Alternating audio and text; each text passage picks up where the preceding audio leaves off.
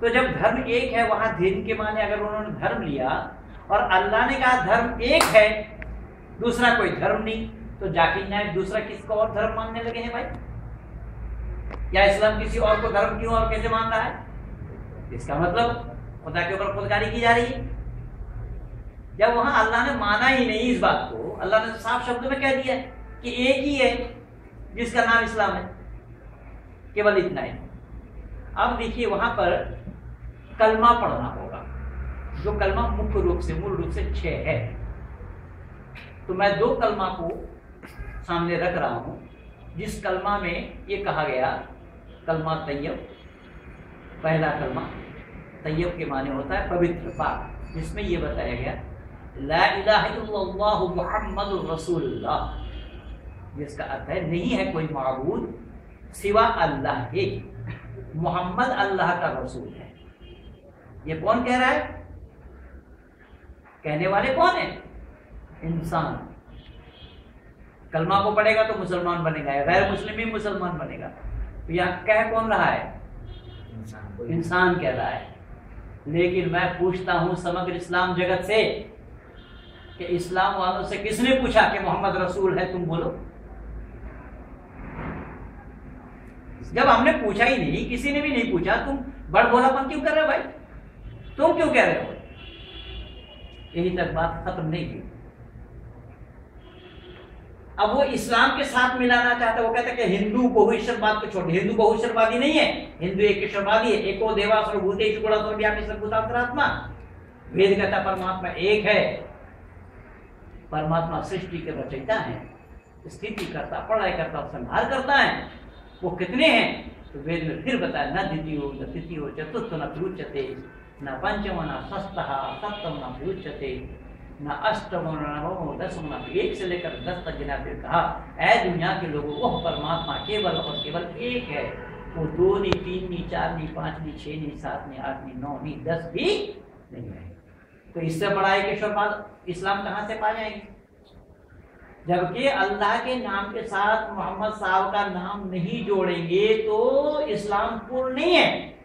इसलिए वह कहा गया ला मोहम्मद अगर कोई मुसलमान ला ला कहते कहते उसके ज़ुबान से झाग निकल कर अगर वो मर भी जावे, वह हरगिज हरगिज मुसलमान नहीं बन सकता। कब तक? जब तक कि वो मोहम्मद रसूलुल्लाह ना कह ले। तो फिर एक ईश्वर बात कहाँ है?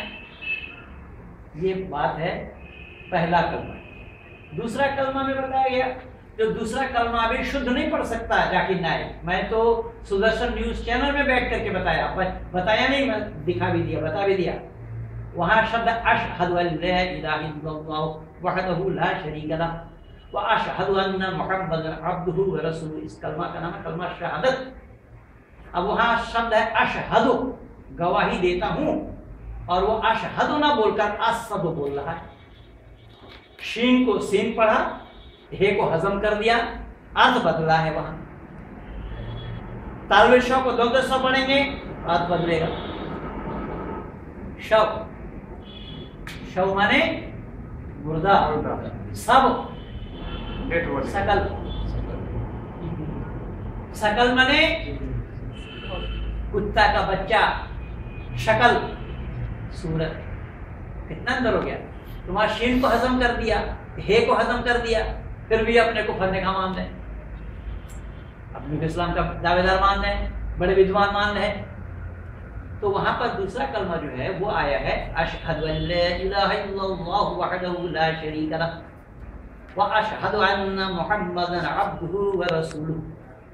इसका अर्थ है, गवाही देता हूँ मैं, नहीं है कोई माबूद सिवा अल्लाह की। और गवाही देता हूँ मैं, मोहम्मद अल्लाह का बंदा और उसका रसूल है। और जहाँ पर मोहम्मद का नाम होगा, वहाँ पर सल्लल्लाहु अलैहि वसल्लम कहना पड़ेगा अल्लाह, तू दरूद भेज। यानी अल्लाह, तू दरूद भेज, अल्लाह को मालूम नहीं है मोहम्मद के ऊपर दरूद भेजना है कि नहीं अब इस कलमा का नाम है कलमा शहादत। शहादत के माने गवाही देना। गवाही दे कौन रहा है? इंसान। मैं समग्र इस्लाम जगत से पूछा कि कौन मांगा आपसे गवाही? आप क्यों गवाही दे रहे हैं? आपने किसने बोला आपको गवाही देने के लिए? कहीं रिश्वत लेकर के गवाही तो नहीं दे रहे हमारे भारत में ऐसा होता है, हो रहा है, कई जजों को भी रिश्वत लेते हुए देखा गया। तो यहाँ बात वो होगी कि जब आपसे कोई गवाही मांगेगा तभी ना आप बोलेंगे, भाई तो जब आपको गवाही देने के लिए किसी ने बोला ही नहीं, आप गवाही देते जा रहे हैं। अब गवाही किस लिए दे रहे हैं? किसकी गवाही दे रहे हैं? मोहम्मद के रसूल होने की गवाही दे रहे हैं। तो मोहम्मद से अल्लाह का क्या ताल्लुक है? तो बोले अल्लाह का ताल्लुक है मोहम्मद अल्लाह का आखिरी पैगंबर है। केवल आखिरी पैगंबर नहीं सबसे मर्तबा वाला पैगंबर। मोहम्मद जैसा मर्तबा मर्यादा और किसी पैगंबर की नहीं यानी अल्लाह ने उन पैगंबरों में भी झगड़ा लगा रखा है। सबसे पहला आदम है, जिसको हम आदम इंसान को ही अगर बोलेंगे तो जिन्हों जो इंसान बनकर के आया, वो इंसानियत का प्रचार किया, उसकी मर्यादा मोहम्मद से छोटा है। और जबकि उस आदम को बना करके अल्लाह ने वहाँ आदम के अंदर रूह प्रवेश कराया, रूह डाला यह अल्लाह ने रूह को बोला रूह, तू दाखिल हो जा इस आदम के अंदर में। वहाँ अल्लाह रूह प्रवेश करा रहे हैं। यहाँ तो पंडित भारत के पंडित लोग प्राण प्रतिष्ठा करते हैं मूर्ति में, वहाँ आदम की मूर्ति में अल्लाह ने प्राण प्रतिष्ठा करी। अब मोहम्मद को अल्लाह के नाम के साथ जोड़ दिया। अल्लाह से मोहम्मद अलग नहीं हो सकता और मोहम्मद से अल्लाह अलग नहीं हो सकता, अल्लाह से मोहम्मद अलग नहीं हो सकता। अल्लाह का काम मोहम्मद के बिना नहीं चलेगा, मोहम्मद का काम अल्लाह के बिना नहीं चलेगा। इसीलिए अजान में भी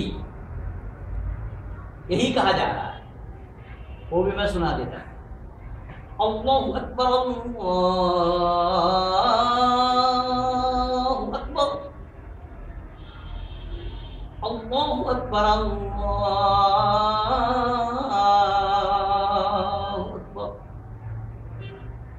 अशहद ला इलाह इल्लल्लाह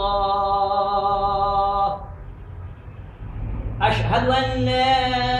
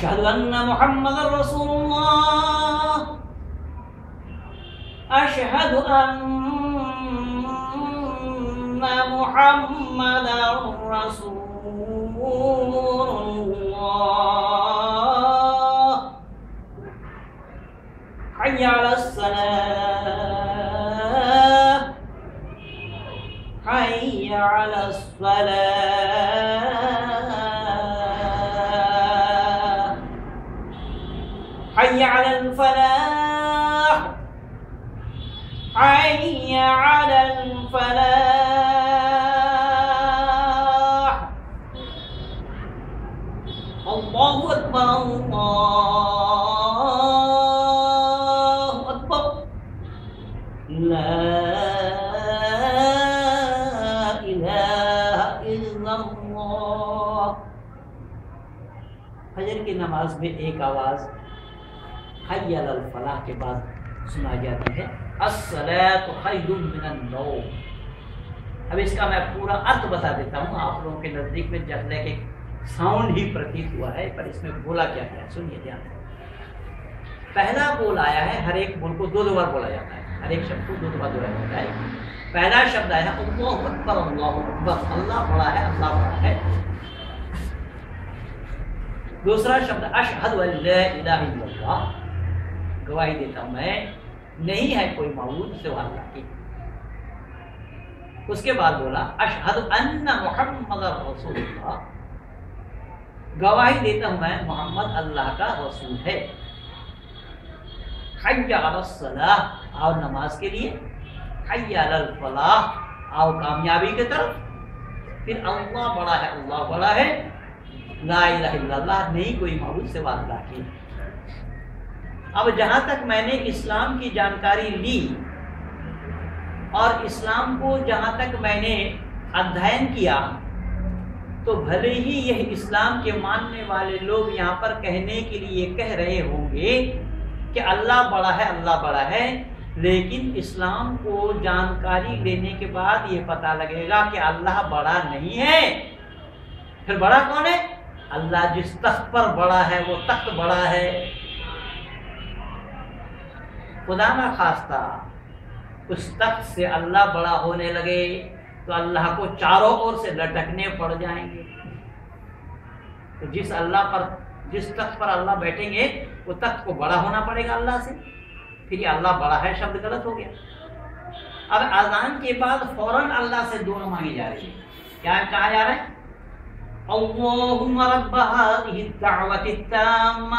अल्लाहुम्मा रब्ब हादिहि दावति ताम्मा वस्सलातिल काइमाति आति मुहम्मदिल वसीला वल फजीला वद्दरजतर रफीआ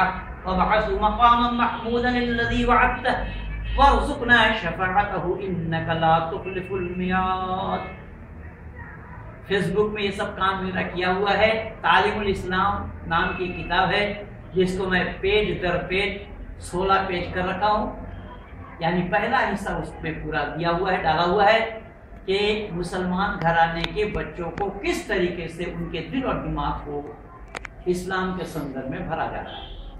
तो अजान के बाद ये जो दुआ मांगी गई वहाँ अल्लाह से ये प्रार्थना किया जा रहा है कि अल्लाह तू रहमत की बारिश कर किन पर? हज़रत मोहम्मद पर। तो अल्लाह को मालूम नहीं मोहम्मद पर रहमत करना चाहिए कि नहीं करना चाहिए। इंसान सुझाव दे रहा है अल्लाह। यहाँ बुझते बच्चे तो बुझते অসুবিধা হচ্ছে না তো इंसान सुझाव दे रहे हैं अल्लाह को कि अल्लाह तू अपना रहम को करम की नायत फरमा किस पर जब अल्लाह ने वादा किया हुआ है उसमें वही शब्द आया उसमें कि तूने प्रतिश्रुति दी है तूने वादा किया है क्या करने का मोहम्मद के ऊपर रहम बरसाने का तो जब अल्लाह ने वादा किया है तो याद दिला रहा है क्या? तेरा अल्लाह भुलक्कड़ है। क्या भूलने की दोष है उसमें? बीमारी है भूलने की। क्या कहीं भूल ना जाए? पाँच बार तुम याद दिला रहे उसको। वहाँ पर भी बात नहीं बनी। आगे बढ़िए। तो उस नमाज़ के अंदर में भी बोला जाए। अल्लाहुम्मा सल्लि अला मुहम्मद। वाला आल मुहम्मद कमा सल्लैत अला इब्राहीम वाला आल इब्राहीम इन्नका हमीदुम मजीद अल्लाहुम्मा बारिक अला मुहम्मद वाला आल मुहम्मद कमा बारकत अला इब्राहीम वाला आल इब्राहीम इन्नका हमीदुम मजीद ये दरूद वहाँ पढ़ना पड़ेगा। कायदे में बैठकर दो रकात नमाज़ के बाद। तब तो पढ़ेंगे अत्ताहियतों के बाद ये दो दरूद वहाँ पढ़ना है। और वहाँ पर केवल मोहम्मद नहीं, मोहम्मद के पूरे वंशजों पर, इब्राहिम से लेकर के मोहम्मद तक पूरे वंशजों पर तू अपना रहम इनायत फरमा, क्योंकि तूने वादा किया। तो मैं हैरान तो इस बात से हूँ, क्या इन इस्लाम वालों को इतना पता नहीं लग पा रहा, जब अल्लाह ने वादा किया है तो तू क्यों दे रहा यार तू क्यों याद दिला रहा है? अल्लाह ने जब वादा किया है तो अल्लाह भूल गए क्या? और हर नमाज़ में तुम याद दिला रहे हो? तो यहाँ नमाज़ में अजान से लेकर के पूरी नमाज़ में मोहम्मद हर जगह अल्लाह के साथ जुड़ा हुआ है। मोहम्मद अल्लाह से अलग नहीं। और फिर भी कह रहे हम एक ईश्वरवादी है। भाई एक ईश्वरवाद कहाँ है? इस्लाम तो व्यक्ति पूजक का ही पोषक है।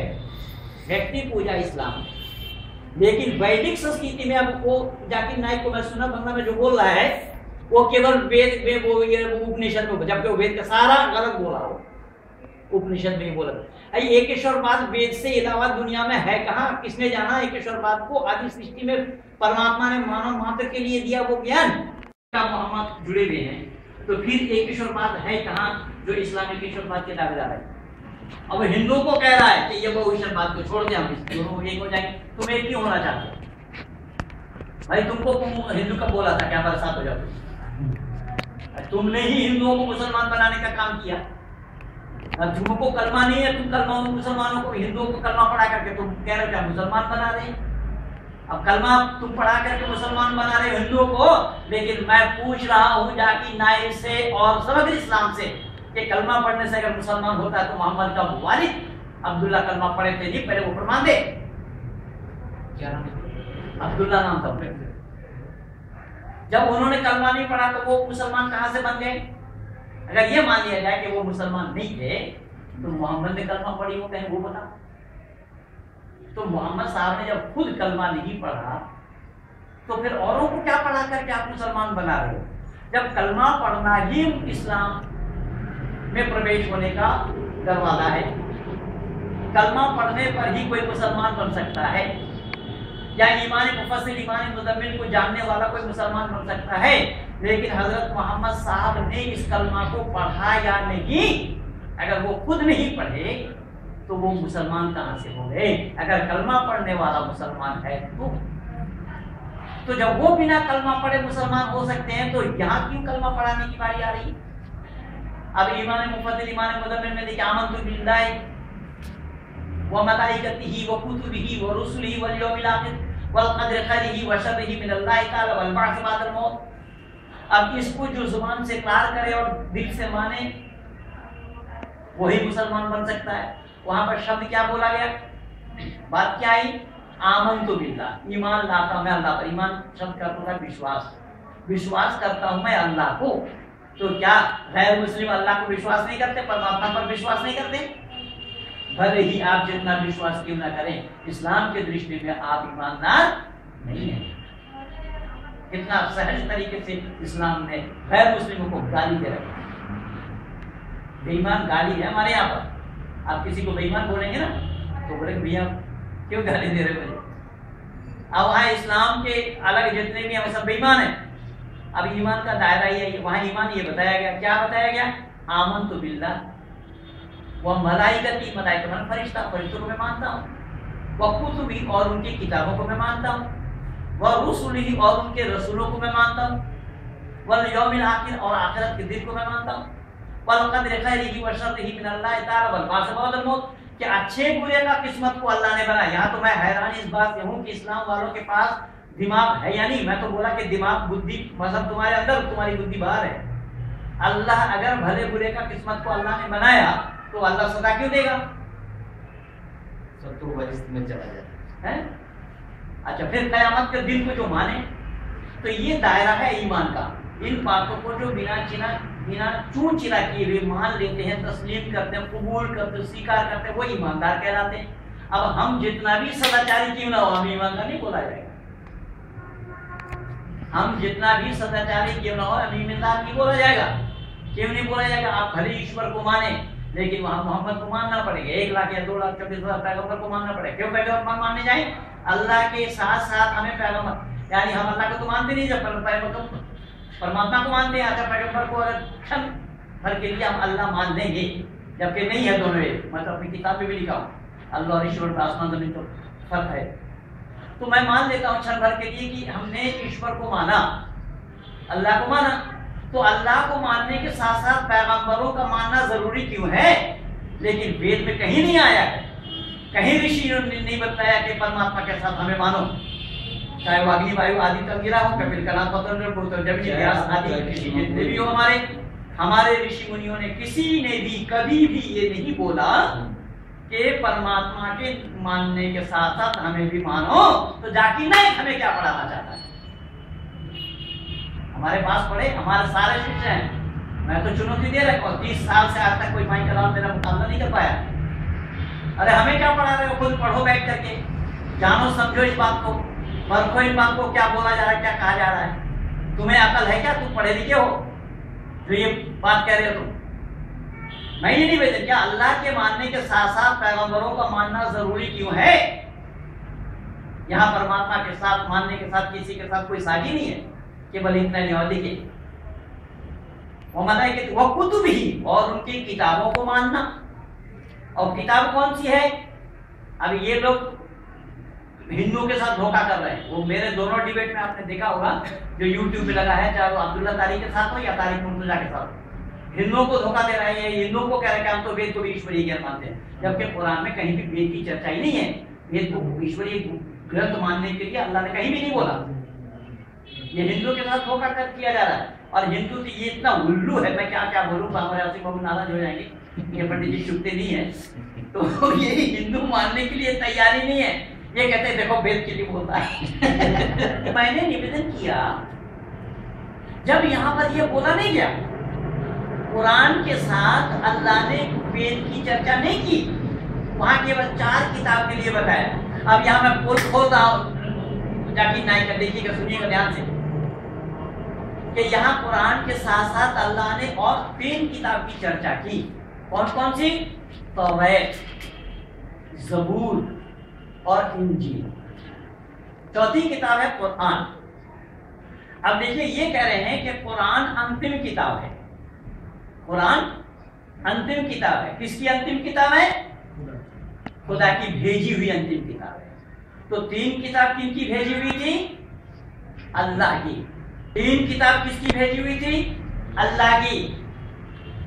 तो तीन किताब जब अल्लाह की भेजी हुई थी तो चौथी किताब अल्लाह को क्यों भेजना पड़ा?